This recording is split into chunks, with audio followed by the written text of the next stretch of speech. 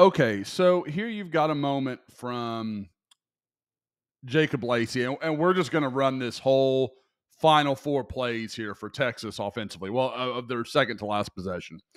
Um, Lacey just does an outstanding job getting around and getting into this A gap here. Uh, just, you know, OU kind of slants down. You're going to see McCullough come down and fill that gap. Uh, like I said, Lacey will circle around this way. And he just does a great job kind of using that pivot point and just keep rotating, rotating until he can get around DJ Campbell and make the sack. We all know how big that play ended up becoming. Uh, really pushing Sark to a point he clearly he didn't like the the risk reward wasn't worth it for him to not kick the field goal. Um, so just nice play. They'll show it from the end zone here. Like I said, this will be a longer one because we're going to do a few plays here. Yeah, you'll see him come down.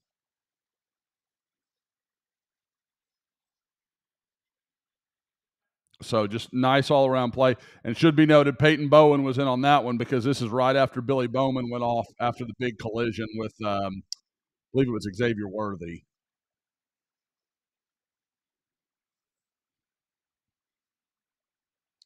We'll mute that. You got. I know sometimes guys don't like hearing that. Uh, okay, so um, here, I think this is the quick pass out in the flat. Yeah, yeah. Uh, Worthy, not again. There, there's Peyton Bowen. Not a great tackle. It's not the way you draw it up, but you got the guy to the ground, and that's that's. If I've seen anything from Peyton Bowen, he he does a good job putting a guy down and just making sure he's he's going to be no longer a threat. So nice play there. Again, you're keeping third and long. You're forcing Texas into a tough situation. Now, here's what I don't, I, and I want to say, I thought Oklahoma's um, uh, play usage all day was really good. Uh, I'm sorry, uh, clock management was really good. We've talked about it, how much cleaner it's been this year. There seems to be whatever the problems were last year, seem like they've been worked out. I thought OU was great in the middle eight against Iowa State. I thought they were great again against Texas, um, and really thought they managed the last minute or so really well in this one. The thing I don't like, and it ended up actually working out in OU's favor because they got down the field so quickly uh, on their final drive. But okay, so all right, timeout's called. It's 127. I believe that's when the clock actually stops. Let's yeah. Okay, so the clock stops at 127. The play before Worthy is down. You lost 30 seconds. That I again, if you don't get down the field that quickly, that 30 seconds could have been vitally useful. And I, would love to say, oh, you knew the four plays. Uh, that's pretty pie in the sky. Um, so again, I think it's been really good. I think this was a misstep, and they're they're going to happen sometimes. I'm not saying anybody's ever going to be perfect on these things, but I don't really understand because I know some people said, "Oh, well, substitution problems." The umpire stopping the play. There's 17 seconds left. Like, oh, you clearly had time to do this. Now, I guess you could make the argument, and I, I'm literally just thinking of this on the fly that Oklahoma was having to waste so much time with their substitution, they decided they need to stop the, the, the play. But again, you knew you were going to sub pretty quickly. I mean, Texas Texas is set. So clearly they had subbed on whoever they were subbing, and it's hard to see because we're not getting to see the field. But clearly Texas had whoever they were putting into the game on the field already. And you could have called a timeout before now if that was going to be your concern. So I again, I think it's just a misstep. You got to own that and, you know, go forward. So here we go. We'll go third down here.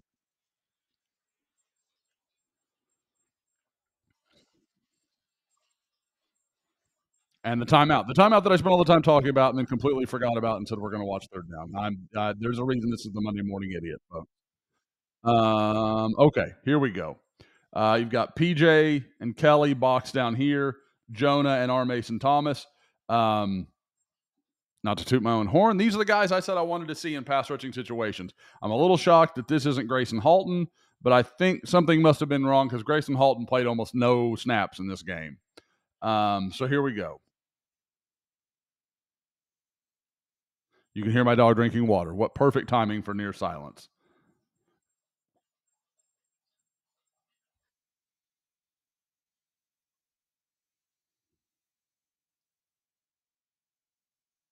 Look at PJ just about make that play. Right there off the corner. That's impressive. All right, so Kanak drops off and pass, comes up, helps make the stop and run.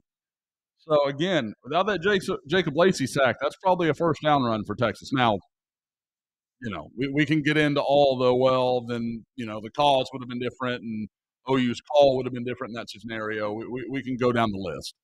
Um, but obviously, fourth and four probably doesn't happen without that sack. That's just a huge, huge play in the game. Hey, look, it's everybody's favorite. Arch Manning's in the house. What do you know? All right. Um, so anyway, Dillon Gabriel starting to get ready. Doesn't even realize he's about to become an Oklahoma legend. That's uh, you know, pretty pretty seems like a pretty good moment there.